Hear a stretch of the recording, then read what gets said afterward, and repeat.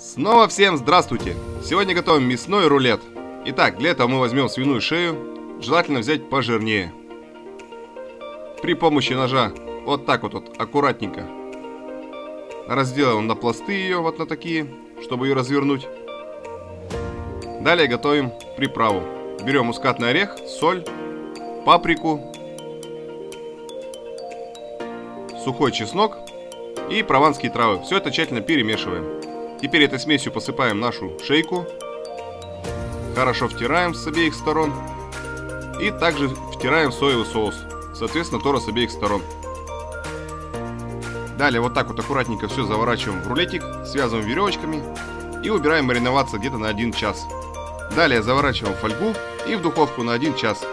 Через час вскрываем и еще убираем минут на 40. И пробуем, наслаждаемся.